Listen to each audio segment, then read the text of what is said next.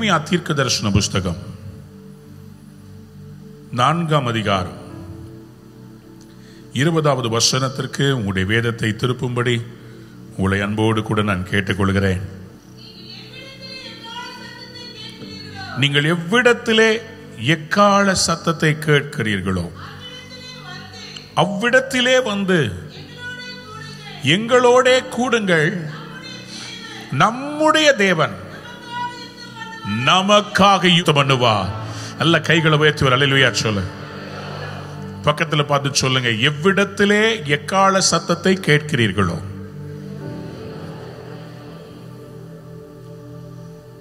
ஆண்டவர் இஸ்ரவேல் ஜனங்களுக்கு பல யுத்த தந்திரங்களை கொடுத்திருந்தார். பல யுத்தத்திற்கான ஆயுதங்களை கொடுத்திருந்தார். அதில் விசேஷமாக ஆண்டவர் இஸ்ரவேல் ஜனங்களுக்கு அவருடைய சத்துருக்கள் அவர்களை நெருக்கும் போது அவர்கள் ஒரு ஆயுதத்தை பயன்படுத்த வேண்டும் என்று சொல்லி அவர்களிடத்திலே திருவுளம் பற்றினார்.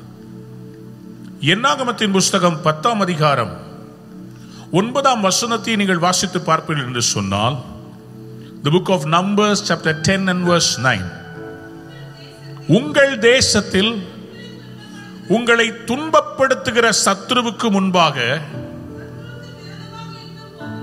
யுத்தத்திற்கு நீங்கள் போகும்போது பூரிகைகளை பெரும் துணியாய் முழங்க கடவீர்கள். அப்பொழுது உங்கள் தேவனாகிய கத்தருடைய சமூகத்திலே நீங்கள் நினைவு கூறப்பட்டு உங்கள் பகைஞருக்கு நீங்களாக்கி ரட்சிக்கப்படுவீர்கள் கைகளை உயர்த்தி ஒரு ஆமேன்னு சொல்லுங்க. பிரியமானவர்களே ஆண்டவர் இஸ்ரவேல் ஜனங்களுக்கு இந்த எக்காலம் ஷோஃபார் அல்லது ட்ரம்பெட் என்று சொல்லப்படுகிற இந்த எக்காலத்தை எப்படி பயன்படுத்த சொன்னார்? தேசத்திலே சத்துருக்கள் பெருகும் போது தேசத்திலே சத்துருக்கள் துன்பப்படுத்தும் போது சத்துருக்கள் நெருக்கும் போது கத்தருடைய ராஜ்யத்தின் பணியை தடை செய்யும் போது ஆண்டவர் கொடுத்த ஒரு அதிகாரம். நீ எக்காலத்தை எடுத்து நெடும் துணியாய் முழங்க கடவீர்கள்? அப்பொழுது அவராலே நினைவு கூறப்பட்டு அவர் இறங்கி வந்து உங்களை ரட்சிப்பா இந்தியாவிலே எந்த ஒரு அமைப்பும் நம்மை காப்பாற்ற போவதில்லை. கர்த்தரே நம்மை காப்பாற்ற இறங்கி வர வேண்டும். There is no other power, there is no other authority. Every voice of dissent have been quietened down. எதிர்ப்பின் சப்தங்கள் எல்லாம் அடங்கி இருக்கிறது அடக்கப்பட்டிருக்கிறது பேசக்கூடியவர் ஒரே ஒருவர் தான் அவருடைய வாயை யாராலும் மூட முடியாது அவர்தான் நம்முடைய ஆண்டவராகிய இயேசு கிறிஸ்து ஏசாயா நாற்பத்தி மூன்றாம் அதிகாரம் பதிமூன்றாம் வசனத்தை அவர் கேட்கிறார் நான் செய்கிறதை தடுக்கிறவன் யார்? Who can but stop what I am doing? நான் கர்த்தர். நாள் உண்டாகுவதற்கு முன்பாகவே நான் இருக்கிறேன். என் கைக்கு தப்புவிக்கத்தக்கவன் யார்? நான் செய்கிறதை தடுப்பவன் யார்? உலகத்திலே அநியாயம் பெருகும் போது ஜனங்கள் கூக்குரலிடும் போது ஒரே ஒருவர் மட்டுமே ஜனங்களை வந்து மீட்க முடியும். அவர்தான் நீதியின் சூரியன். அவர்தான் நீதியின் தேவன். குரல் கொடுக்க வேண்டிய சப்தங்கள் எல்லாம் விலை போகும்போது நீதியாய் பணத்திற்காகவும் லஞ்சத்திற்காகவும் புகழுக்காகவும் பெயருக்காகவும் அல்ல. என் ஜனங்களை காப்பாற்ற வேண்டும் என்கிற நீதியின் தேவனுடைய குரல் சீக்கிரத்திலே துணிக்க போகிறது. நான் இருந்த கையை தட்டி ஒரு ஆமேன் சொல்லிரு. Nehemiah was a builder he was actually building the rubbles எல்லாம் எல்லா இடிக்கப்பட்ட எருசலேமின் அலங்கத்தை அவர் கட்டி கொண்டிருக்கிறார் There are several people in the Bible who use the trumpet, the shofar, இந்த எக்காலத்தை பயன்படுத்தினவர்களுள் நெஹேமியா பயன்படுத்தினது நமக்கு ரொம்ப தெரியாது. யோசுவா எக்காலம் ஊதினார்? எரிகோ விழுந்தது தெரியும். கிதியோன் எக்காலம் ஊதினார்? மீதியானியர்கள் மேற்கொள்ளப்பட்டார்கள் தெரியும். ஆனால் இந்த நெஹேமியா சொன்னார் இந்த பணி கட்டுகிற பணி தடையில்லாமல் இருப்பதற்கு நீங்கள் எல்லாம் அவரவர் கையிலே ஒரு ஆயுதத்தை பிடித்துக்கொண்டு மற்றொரு கையிலே வேலை செய்ய வேண்டும். கத்தருடைய பிள்ளைகள் அறிந்து கொள்ள வேண்டும் இது கடைசி நாட்கள். நீங்கள் என்ன செய்தாலும் கத்தருக்காக ஊழியம் செய்ய வேண்டும். சத்தமா ஒரு ஆமேன்னு சொல்லுங்களேன். நீங்கள் எந்த பணியை செய்தாலும் சபையோடு இணைந்து சுவிசேஷத்தை அறிவிக்கிறது செய்யத்தான் வேண்டும். ஒரு பக்கம் நம்ம கட்டணும் இன்னொரு கையில சத்துருவோட யுத்தம் பண்ணுவதற்கு பட்டயத்தை விருதாவாக பிடிக்க கூடாது இந்த வார்த்தை என்கிற பட்டயம் எல்லாம் கையில காமிங்க பாப்போம் உங்க பட்டயத்தை. எல்லாம் கையை உயர்த்தி காமிங்க. இந்த பட்டயத்தை கையில வச்சுக்கிட்டே இருக்கணும். நெஹேமியா நான்கு பதினாறு சொல்லுகிறது அன்று முதற்கொண்டு என் வேலைக்காரில் பாதி பேர் வேலை செய்தார்கள் பாதி பேர் ஈட்டிகளையும் பரிசைகளையும் வில்லுகளையும் கவசங்களையும் பிடித்து நின்றார்கள் யூதா வம்சத்தார் எல்லாரும் பின்னாக நின்றார்கள் The tribe of Judah stood beside Nehemiah. And what was the job? Nehemiah entrusted Judah, hold the trumpet. எக்காலத்தை பிடித்து நில் எங்கே எக்கால சத்தம் கேட்கிறதோ அங்கெல்லாம் நீங்க கூடி வாருங்க. எக்கால சத்தம் கூட்டி சேர்க்கிறதுக்கு காரணம் என்ன தெரியுமா?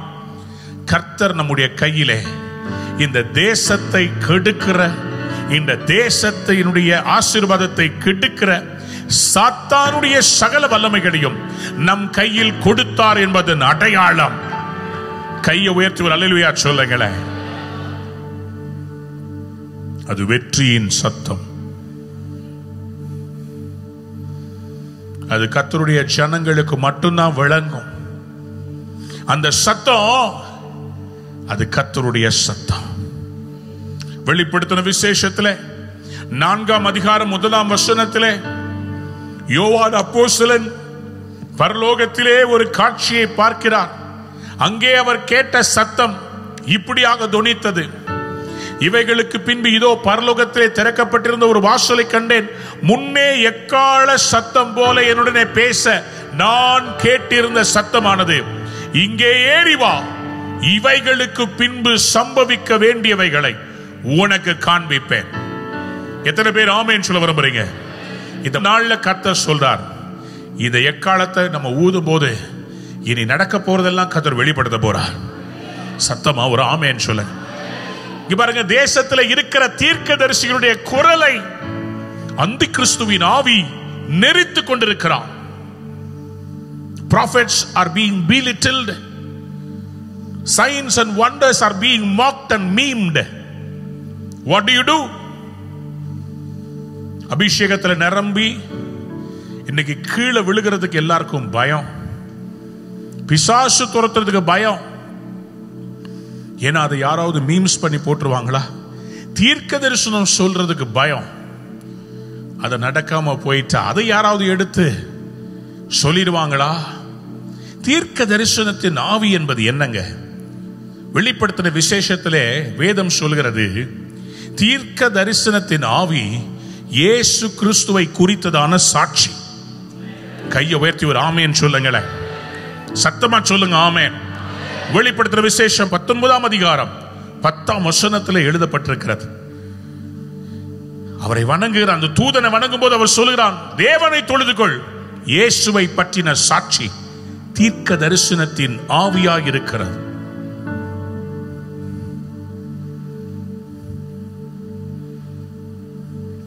The spirit of prophecy is the testimony of Jesus. அப்போ prophecy அந்தி கிறிஸ்து எதுக்கிறதுக்கு காரணம் என்ன? ப்ராஃபஸி நிறைவேறக்கூடாது இயேசு பொய் என்று நிரூபிக்க பிசாசு தீவிரமாய் யுத்தம் பண்ணுவதற்கு காரணம் என்ன தெரியுமா? கத்தர் வெளிப்பட போகிறார். ஆண்டவருடைய நாள் வருகிறது. அது சமீபமாய் இருக்கிறது. அதை சொல்லுவதற்காக தான் எக்கால சத்தம்? ஒரு தீர்க்க தரிசன சத்தம். கையை உயர்த்தி ஒரு ஆமேன்னு சொல்லுங்க. ரெண்டாயிரத்தி பத்தொன்பதாம் வருஷத்துல ஒவ்வொரு மாவட்டமா போய் எக்காலத்தை ஊதி ஜாமக்காரர்கள். We are watchman standing on the walls ஒன்னு குருந்தியர் பதினான்காம் அதிகாரம். எட்டாம் வசனத்தை கோட் பண்ணி எல்லா இடங்களிலும் சொன்னோம். பவுல் அப்போஸ்தலன் கொரிந்து சபை இடத்திலே ப்ராஃபஸியை பத்தி பேசிட்டு இருக்கும் போது திடீர்னு அவர் ஒரு கேள்வியை கேட்கிறார். ஒன்னு குருந்தியர் பதினான்கு எட்டுல அந்தபடி எக்காலமும் விளங்காத சத்தமிட்டால் எவன் யுத்தத்திற்கு ஆயத்தம் பண்ணுவான்? அந்தபடி எக்காலம் விளங்காத சத்தம். தீர்க்க தரிசனத்தை பத்தி பேசிட்டு இருக்கிறவர் ஏன் எக்கால சத்தத்தை பத்தி பேசணும்? எக்கால சத்தம்? தேசத்தின் மேல் வருகிற தீர்க்க தரிசன கத்தருடைய சத்தம். யாராவது ஒரு ஆமேன்னு சொல்லுங்க பாப்போம். சத்தத்தை உயர்த்தி ஒரு ஆமேன்னு சொல்லுங்க. ஹalleluya அப்போ இந்த நாட்களிலே சபைகளாய் நம்ம என்ன செய்யறோம் தெரியுமா? இந்த எக்காலத்தை ஊதி நம்ம செபித்து கத்துடைய நாமத்தை பிரகடனப்படுத்தி எங்கள் கத்தர் வருகிறா இயேசு வருகிறா சங்கீதம் பதினெட்டு ரெண்டுல என் ரட்சன்ய கொம்புன்னு சொல்லி என்னை ரட்சிக்கிற கொம்புன்னு சங்கீதக்காரன் ஏன் சொன்னா? ஏன் சங்கீதக்காரனாகிய தாவிது கத்தருடைய உடன்படிக்கை பெட்டி எழும்பும் போதெல்லாம் எக்காலத்தை ஊத வைத்தான்? Whenever God was worshipped எக்காலங்களை ஊதி சொல்லுவார்கள் கத்தர் எழுந்தருளுவாராக சத்துருக்கள் சிதறடிக்கப்படுவாராக. கைகளை உயர்த்தி ஒரு ஆமேன் சொல்லுங்களேன். The blow the trumpet blowing the trumpet denotes the sign that the God that the Lord is arising in the nation. அவர் எழும்புகிறார். தீர்க்க தரிசன எக்கால சத்தம். தீர்க்க தரிசன எக்கால சத்தம். இன்னைக்கு ஆண்டவருக்கு ஒரு முன்னூறு பேர் தேவை. இன்னைக்கு ஆண்டவருக்கு இந்த எக்கால சத்தத்தை கேட்டு இறங்கி வருகிற சில பேர் தேவை. God needs some people who will answer to the call of the trumpet. எனக்கு அன்பார்ந்த பிள்ளைகளே நியாயாதிபதிகளின் புஸ்தகத்தில் ஆறாம் அதிகாரத்திலே தானியங்களை எல்லாம் போரடிக்கிற களத்திலே வைத்து அடிக்காமல் குழியான திராட்சை ஆலை திராட்சை பழங்களை மிதிக்கிற ஆலைக்கு அருகாமையிலே குழியிலே நின்று அடித்துக் கொண்டிருந்த கிதியோனை பார்த்து கர்த்தருடைய தூதனானவர் சொன்னார் பராக்கிரமசாலியே கர்த்தர் உன்னோடு இருக்கிறார். கைகளை உயர்த்தி ஒரு ஆமேன்னு சொல்லுங்க. எத்தனை பேர் விசுவாசிக்கிறீங்க? இந்தியாவின் சபைகளோடு கர்த்தர் இப்பொழுது இருக்கிறார். சத்தமா ஆமேன்னு சொல்லுங்களேன். The presence of problems does not mean the absence of God. You might be in the prison, but the presence of God is still evident. குழியிலே தூக்கி போட்ட யோசேப்போடு கத்தர் இருந்தார். சிறைச்சாலையில் இருந்த யோசேப்போடு இருந்தார். சிங்கக்கபியில் இருந்த தானியலோடு இருந்தார். ஏன்? அவரை விட்டு தூரம் போன யோனாவை மீன் வயிற்றிலே கத்தர் கூட பேசிக்கிட்டு இருந்தார். கத்தருடைய பிள்ளையாகிய உங்களை எங்கே போனாலும் கர்த்தர் தேடி கண்டுபிடிக்கிறவராக இருக்கிறார். எத்தனை பேர் ஆமையன் சொல்ல விரும்புறீங்க? பராக்கிரமசாலியை கத்தருனோடு இருக்கிறார். அப்போ அவர் கேட்ட ஒரு சைன் ஆண்டவரே நீர் என்னை அனுப்புகிறீரானால் முதலாவதாக நான் உமக்கு ஒரு பலி செலுத்த போறேன். அதுல ஒரு ரகசியம் இருக்கு. என்ன பலி செலுத்த சொல்லி ஆண்டவர் சொன்னாரு? இவர் ஆண்டவர்கிட்ட சொல்றாரு நான் உமக்காக சமைத்து கொண்டு வருவேன். அப்போ வீட்டுக்குள்ள போய் நியாயாதிபதிகள் ஆறாம் அதிகாரம் பதினெட்டாம் வசனத்துல இருந்து வாசிக்கலாம். நான் உம்மிடத்திற்கு என் காணிக்கையை கொண்டு வந்து உமக்கு முன்பாக வைக்கும் அளவும் இவ்விடம் விட்டு போகாதிருப்பீராக என்றான். அதற்கு அவனை திரும்பி வரும் மட்டும் நான் இருப்பேன் என்றான். உடனே கிதையன் உள்ளே போய் ஒரு வெள்ளாட்டுக்குட்டியையும் ஒரு மரக்கால் மாவிலை புளிப்பில்லாத அப்பங்களையும் ஆயத்தப்படுத்தி இறைச்சியை ஒரு கூடையிலே வைத்து ஆணத்தை ஒரு கிண்ணத்தில் வார்த்து அதை வெளியே கருவாலி மரத்தின் கீழ் இருக்கிற அவரிடத்திற்கு கொண்டு வந்தான். அப்போது தேவனுடைய தூதனானவர் அவனை நோக்கி இறைச்சியும் புளிப்பில்லாத அப்பங்களையும் எடுத்து இந்த கற்பாறையின் மேல் வைத்து ஆணத்தை ஊற்றி என்றார். அவன் அப்படியே செய்தான். கத்தருடைய தூதன் கையில் இருந்த கோலின் நுனியை நீட்டி இறைச்சியும் புளிப்பில்லாத அப்பங்களையும் தொட்டார். அப்பொழுது அக்கினி கற்பாறையில் இருந்து எழும்பி இறைச்சியும் புளிப்பில்லாத அப்பங்களையும் பட்சித்தது. கைகளை உயர்த்தி ஒரு அலையிலுயா சொல்றீங்களா? சத்தமா ஒரு அலையிலுயா சொல்றீங்களா? அது வரைக்கும் ஏதோ ஒரு மனுஷன் பேசிக்கிட்டு இருந்த நான் நினைத்த கிதியோன் சொன்னார் ஐயோ அதமானேன் கத்தரை என் கண்கள் கண்டதே. ஆண்டவர் சொல்றார் நீ சாவதில்லை. இப்போ உங்களுக்கும் கத்த சொல்றார் நீ சாவதில்லை. உனக்கு கொரோனா வருவதில்லை. உன்னை கொண்டு நான் செய்ய வேண்டிய பெரிய காரியம் இருக்கிறது. எத்தனை பேர் ஆமேன் சொல்ல விரும்புறீங்க? சொல்லிவிட்டு தான் ஆண்டவர் சொல்றார். அங்கே கிதியோன் கத்தருக்கு ஒரு பலிபீடத்தை கட்டி அதற்கு யஹோவா ஷாலோம் என்று பெயரிட்டான் இந்த வருடம் கத்தர் உங்களுக்கு யஹோவா ஷாலோமா இருக்க போகிறார். நான் அந்த பெரிய ஆமேன் சொல்லியிருப்பேன். போன வருஷம் கலக்கத்தோடு ஆண்டவரை நோக்கி கூப்பிட்ட உங்களுக்கு இந்த வருடம் ஆண்டவர் சொல்றார் just worship me I am Jehovah Shalom சமாதானத்தின் தேவன். இந்த சமாதானத்தின் தேவன் என்று அவன் சொன்ன உடனேயே ஆண்டவர் முதலாவதாக மாற்றுவது இந்த கிதியோனை. கிதியோன் சொல்றாரு உன்னுடைய தகப்பனுடைய வீட்டிலே சில காரியங்கள் எனக்கு பிரியமில்லாமல் இருக்கிறது. உன் வீட்டில் அதையெல்லாம் எடுத்து நீ கொண்டு வந்து ஒரு பலிபீடத்தை கட்டி அதன் மேல் அதை எல்லாம் வெட்டி போட வேண்டும். In English it is written that his father had an Asherah pole Asherah pole தமிழ்ல தோப்பு என்று எழுதப்பட்டிருக்கிறது. பாகாலுடைய பலிபீடத்தை தகுத்து அதன் அருகே இருக்கிற தோப்பு. ஒரு பலிபீடம் ஒரு தோப்பு. பலிபீடத்திலே பலி செலுத்தி அந்த தோப்புக்கு வல்லமையை ஏற்றி கொண்டிருந்தார்கள். அதிகாரத்தை கொடுத்து கொண்டிருந்தார்கள். ஆண்டவர் இந்த தேசத்திலே அசேரா அசேரா போல்களை கர்த்தர் உடைக்க போகிறார். புரிந்தவர்கள் கைகளை தட்டி வாய்தை திறந்து. எல்லாரும் வந்து கேட்கிறாங்க கிரியோனுடைய அப்பா கிட்ட உன் பையன் இந்த மாதிரி பண்ணிட்டானே. அவனை கொல்ல வேண்டும். கிதியோன் அப்பா சொல்றாரு உங்க கடவுள் அந்த அசேரா தூண் இருந்துச்சே அந்த கடவுளே வந்து வாதாட்டும். போங்கயா வேலையா பார்த்துட்டு. கையை உயர்த்தி ஒரு அலுவலியா சொல்றீங்களா? கத்தர் இந்த வருஷம் நமக்காக வழக்காட போகிறார் நமக்காக கத்தர் எழும்ப போகிறார் இப்ப ஆண்டவர் சொன்னார் கிதியோனே அந்த போல நீ வெட்டி கொண்டு வரும்போது உன் தகப்பன் வீட்டில் இரண்டாம் காளை ஏழு வயதான இரண்டாம் காளைய நீ கொண்டு வந்து பலியிட வேண்டும். எதற்கு ஏழு வயது நிரம்பின இரண்டாம் காலை நியாயாதிபதிகள் ஆறாம் அதிகாரம் முதலாம் வசனத்தை வாசித்து பார்ப்பிருந்தால் என்றால் இஸ்ரவேலரை கத்தர் மீதியானுடைய கையில ஒப்பு கொடுத்த கணக்கு ஏழு வருஷம். ரெண்டாயிரத்தி ஏழுல இருந்து பதினாலு ஒரு ஏழு.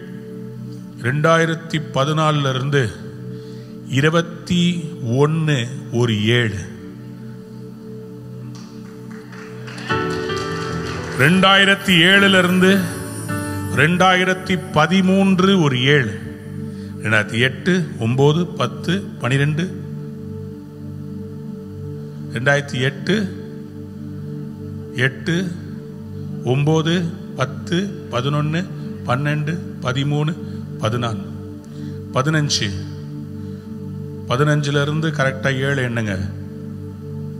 பதினஞ்சு பதினாறு பதினேழு பதினெட்டு பத்தொம்போது இருபது இருபத்தி ஒன்று முதல் ஏழில் மாபெரும் எழுப்புதல்கள். இதே சென்னையிலே ஏழு ஏழு ஏழுன்னு நடத்தினோம். ஜனவரி மாதம் நான் ஃப்ரீடம் நடத்தினேன். ஏழாவது மாதத்தில் பாஸ்டர் சாட்விக் சாமுவேல் ஏழு ஏழு நடத்தினார். ஏழாவது மணி நேரம் பாஸ்டர் மோகன் அவங்க செபம் நடத்த ஏழு ஏழு மணி ஏழு நிமிஷத்துக்கு ஏழு எக்காலங்களை ஊதி சென்னையில் எழுப்புதலை பிரகடனப்படுத்தினோம். பெரிய சபைகளாய் கர்த்தர் எல்லா சபைகளையும் பெருக பண்ணினார். அந்த ஏழு முடிந்தது உபத்திரவ காலத்தின் அடுத்த ஏழு ஆரம்பித்தது. சாத்தானுக்கு ஆண்டவர் கொடுத்த அடுத்த ஏழு ஆரம்பித்தது. மனம் போன போக்கிலே எல்லாத்தையும் செய்தான். பார்வோன் கண்ட கனவு போல ஏழு கொளுத்த பசுக்கள் ஏழு மெலிந்த பசுக்கள். இந்த காலகட்டங்கள் திட்டங்கள் முடிவடைகிறது என்பதை பரிசுத்த ஆவியானவர் இந்த கிதியோனுக்கு சொல்ல விரும்புகிறார். ஏழு வருஷமா உங்க சத்துருக்கள் கையிலே நான் உங்களை ஒப்பு கொடுத்தது முடிந்து விட்டது உங்களுடைய அறுவடையை நீங்க இஸ்ரேல் பள்ளத்தாக்கிலே விதைத்து அறுவடையை எடுக்க ஆயத்தமாகும் போது சுற்றிலும் இருக்கிற மலைகளில் இருக்கிற மீதியானியர் உங்கள் அறுவடையை வந்து சூறையாடி போய் விடுகிறார்கள் ஆனால் இப்படி ஆவதில்லை. நான் இப்பொழுது ஒன்று செய்ய போகிறேன். அந்த மீதியானியரை நான் முறியடிக்க போகிறேன்.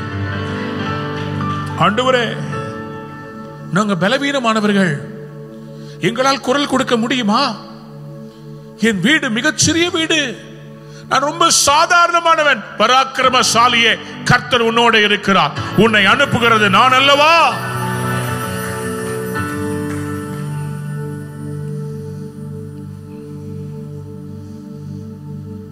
இந்த காளைய பலி கொடுத்த பிறகு கத்தருடைய ஆவியானவர் கிதியோன் மேல் இறங்கி வந்தார். கத்தருடைய ஆவியானவர் கடந்த வருஷம் நம்ம எல்லாரும் வீடுகளிலே பஸ்காவை புசித்து இஸ்ரவேல் ஜனங்கள் விடுதலைக்காக ஆயத்தம் பண்ணினது போல லாக்டவுன்ல உள்ள உட்கார்ந்திருந்தோம். இந்த வருஷம் கர்த்தர் நமக்கு ஒரு பகலை கொடுக்க போகிறார். கைகளை தட்டி ஆமேன்னு சொல்லுங்க. தீங்கு கடந்து போக மட்டும் உன் அறைகளுக்குள் சென்று பூட்டி இருன்னு சொன்னார்ல தீங்கு நாள் கடந்து போக மட்டும். அதனாலதான் ஏசாயா தீர்க்க தரிசனத்தில் சொன்ன தீங்கு நாள் கடந்து போக மட்டும். சபை அமைதலாய் இருந்தது. ஆனால் இப்பொழுது கத்தர் சபையை பார்த்து சொல்லுறார் மீதி ஆணியரை முறியடிக்க வேண்டிய நேரம் வருகிறது. நீ எக்காலம் ஊதி தேசத்தின் ஜனங்களை ஆயத்தப்படுத்த வேண்டிய நேரம் வருகிறது. கையை உயர்த்தி ஒரு ஆமேன்னு சொல்லுங்களேன். நியாயாதிபதிகளின் புஸ்தகம் ஆறாம் அதிகாரத்திலே கத்தருடைய ஆவியானவர் இந்த கிதியோன் மேல் இறங்கி வந்தபோது அவன் செய்தது என்ன? நியாயாதிபதிகள் ஆறு முப்பத்தி நாலு சொல்கிறது கத்தருடைய ஆவியானவர் கிதியோன் மேல் இறங்கினார். இறங்கின உடனே அவன் செய்த காரியம் அவன் எக்காலம் ஊதி அபியேசியரை கூப்பிட்டு தனக்கு பின் செல்லும்படி செய்து மனாசே ஸ்தானபதிகளை அனுப்பி அவர்களையும் கூப்பிட்டு அப்புறம் ஆசேர் செபுலோன் நப்தலி இவங்க எல்லாரும் அவனுக்கு எதிர்கொண்டு வருகிறார் வந்ததுக்கு காரணம் அவர்கள் கேட்ட எக்கால சத்தம்? கைகளை உயர்த்தி அழுவியா சொல்றீங்களா? கடைசியா இவர் ஆண்டவர்கிட்ட கேட்கிறார் ஆண்டவரே எனக்கு இப்போ ஒரு அடையாளத்தை மட்டும் காண்பீங்க.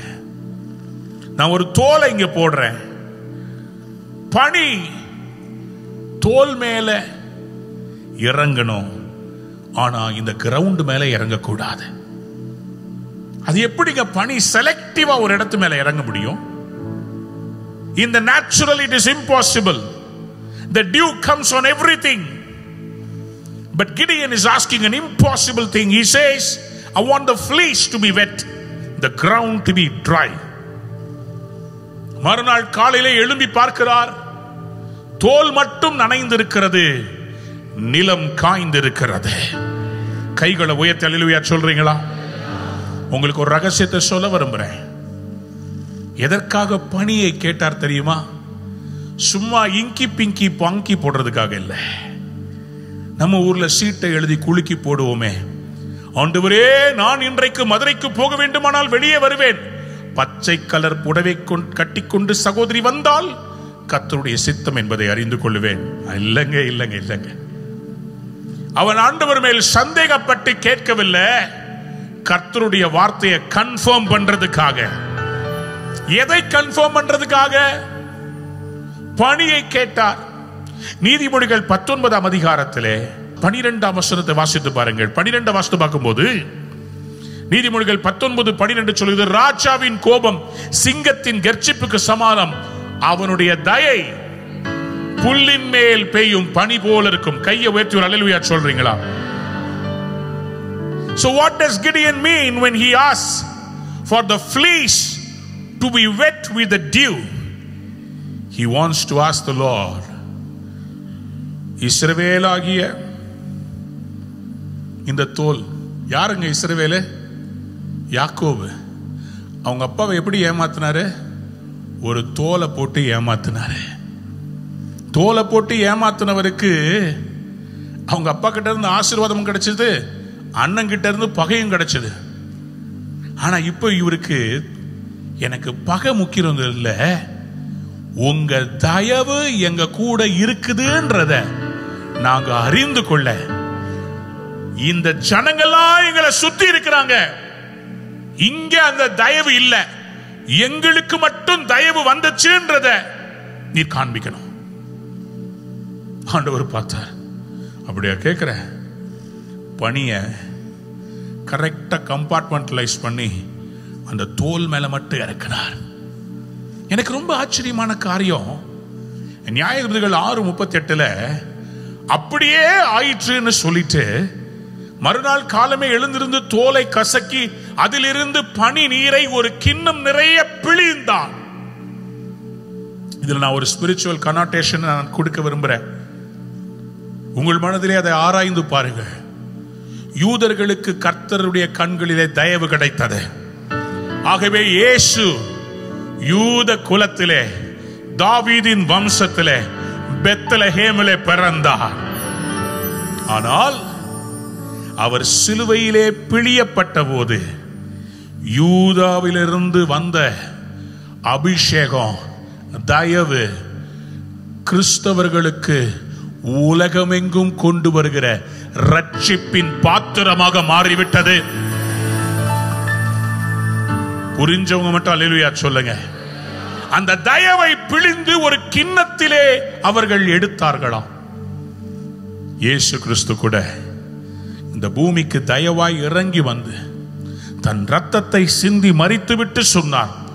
ராபோஜனம் என்கிற அந்த பாத்திரத்தில் யாரெல்லாம் என்னோடு பங்கடைகிறார்களோ அவர்களுக்கு நித்திய ஜீவன் என்கிற தயவை நான் காண்பிப்பேன்.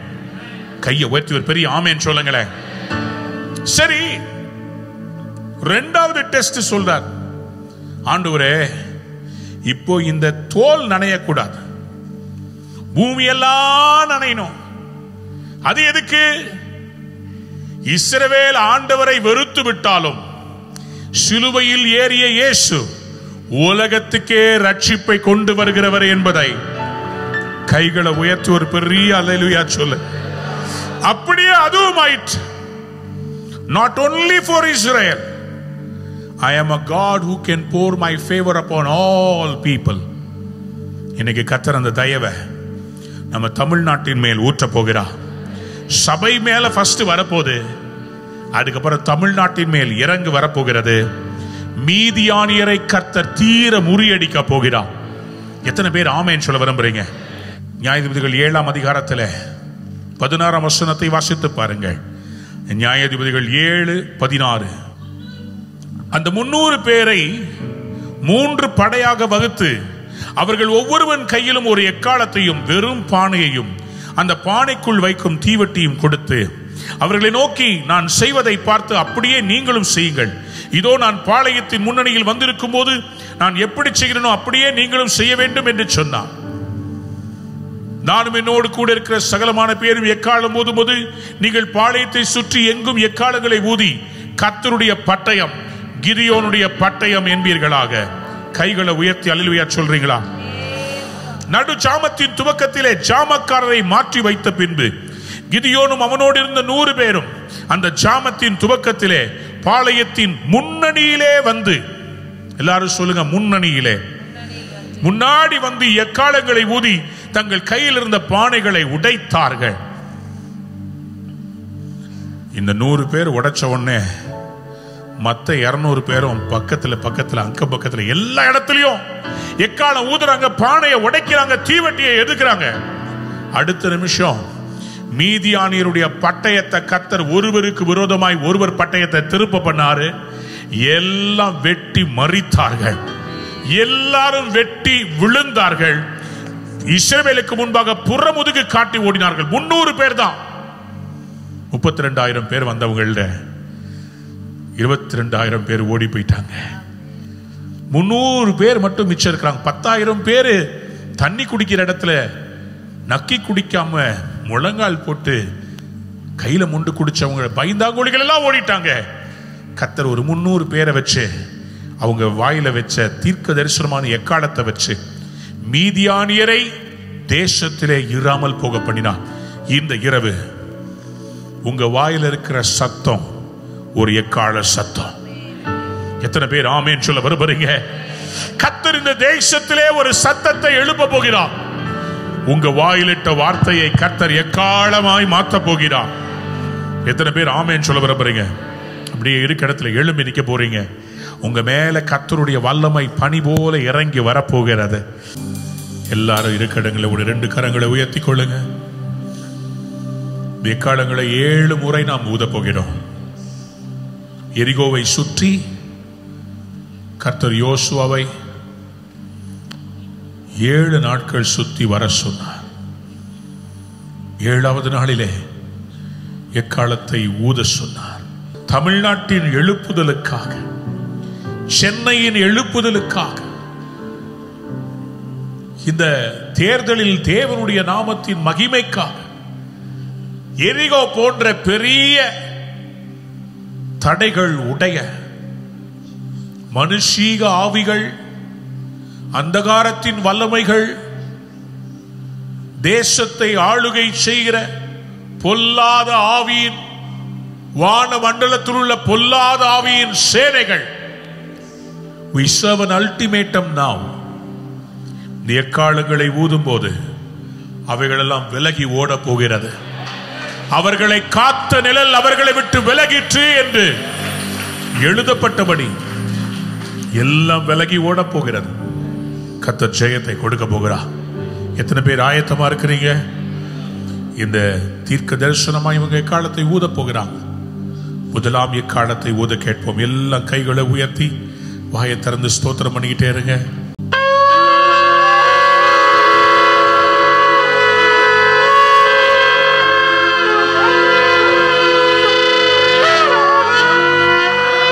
ஒருவராய் பெரிய அதிசயங்களை செய்கிறவர் சொல்லுகிறார். நான் ஒருவராய் பெரிய அதிசயத்தை தமிழ்நாட்டில் செய்வேன். இரண்டாம் எக்காலம் உங்க வாழ்க்கையில நீ இழந்து போன எல்லாவற்றையும் ஏசையா அறுபத்தி ஒன்று ஏழின்படி உங்கள் வெட்கத்துக்கு பதிலாக ரெண்டத்தனையாய் பலர் வரப்போகிறது. இரண்டாவது எக்காலத்தை ஒது கேட்போம்.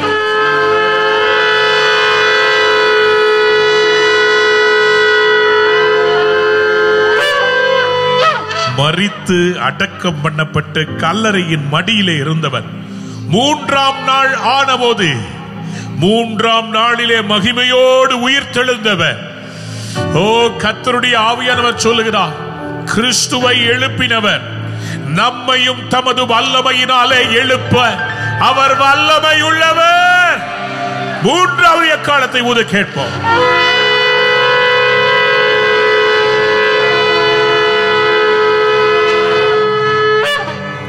மறித்தான் கல்லறையின் கல் இருக்கிறது. நான்கு நாளாகிவிட்டது நாருமே. நாலு மாதமா ஒரு சம்பளமும் வரல. எல்லாம் கெட்டு போச்சு.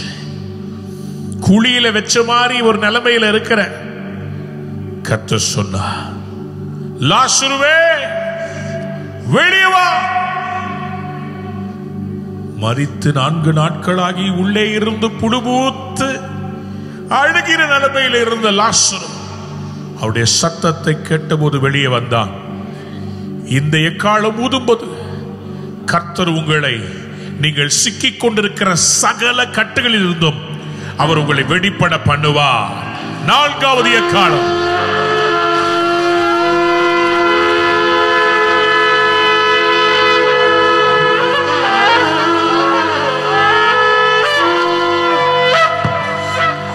அவருடைய தயவினால் அவருடைய கிருபையினால் எங்கள் கொம்பு உயரும். கத்த சொல்லாரு நீ இழந்து போன கிருபையை நான் உனக்கு திருப்பி தரப்போறேன். நீ இழந்து போன அபிஷேகத்தை திருப்பி தரப்போறேன். ஐந்து என்றால் கிருபை. உன் மேல அந்த கிருபை இப்பொழுது இறங்கி வருகிறது. ஐந்தாவது எக்காலம்? கிருபை!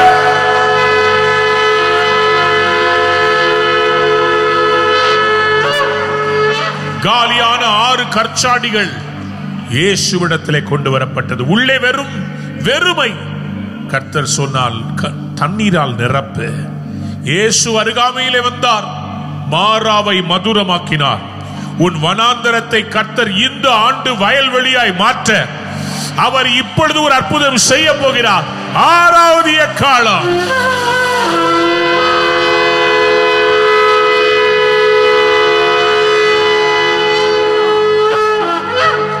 ரெடியா இருக்கிறீங்களா? ரெண்டு கரங்களை உயர்த்தி பிடித்துக் கொள்ளுங்க. உங்களை பின்தொடர்ந்து வந்த சாபங்கள் உங்களை பின்தொடர்ந்து வந்த எல்லா பாவங்கள் உங்களை பின்தொடர்ந்து வந்த தோல்விகள் எல்லாம் விலகி ஓட போகிறது இந்தியாவிலே தேவனுடைய நாம மகிமைப்பட போகிறது. சாத்தானுடைய அரண்கள் நிர்மூலமாக போகிறது. எரிகோக்கள் விழப்போகிறது. இந்த தேசத்தை ஆண்ட எல்லா எசபேலின் ஆவிகளை கர்த்தர் முறியடிக்க போகிறார். ஆகாபின் ஆலோசனையை அகித்தோப்பேலின் ஆலோசனைகளை கத்தர் அதமாக்க போகிறார்.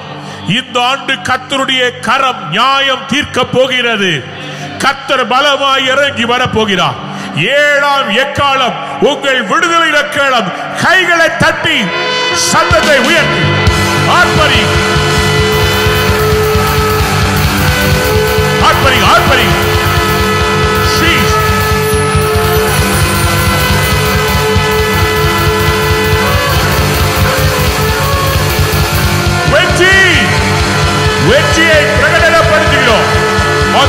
today we declare and decree.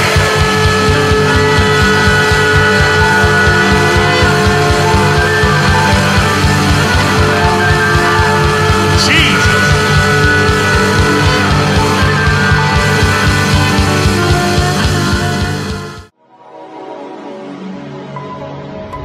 அன்பான நேயர்களே இந்நிகழ்ச்சியில் கொடுக்கப்பட்ட வாக்கு தத்தங்களும் தீர்க்க தரிசன வார்த்தைகளும் உங்களுக்கு ஆசீர்வாதமாய் இருந்திருக்கும் என்று நாங்கள் நம்புகிறோம். நீங்கள் பெற்ற ஆசீர்வாதங்களையும் ஜெப விண்ணப்பங்களையும் மற்றும் உங்கள் காணிக்கைகளையும் அனுப்ப வேண்டிய எங்கள் முகவரி ரூவா ஊழியங்கள் எண் எண்பத்தி ரெண்டு ஜவஹர்லால் நேரு சாலை சிம்ஸ் மருத்துவமனை எதிரில் வடபழனி சென்னை இருபத்தி ஆறு. உங்கள் காணிக்கைகளை ஆன்லைன் மூலமாக எளிதாக செலுத்தலாம்.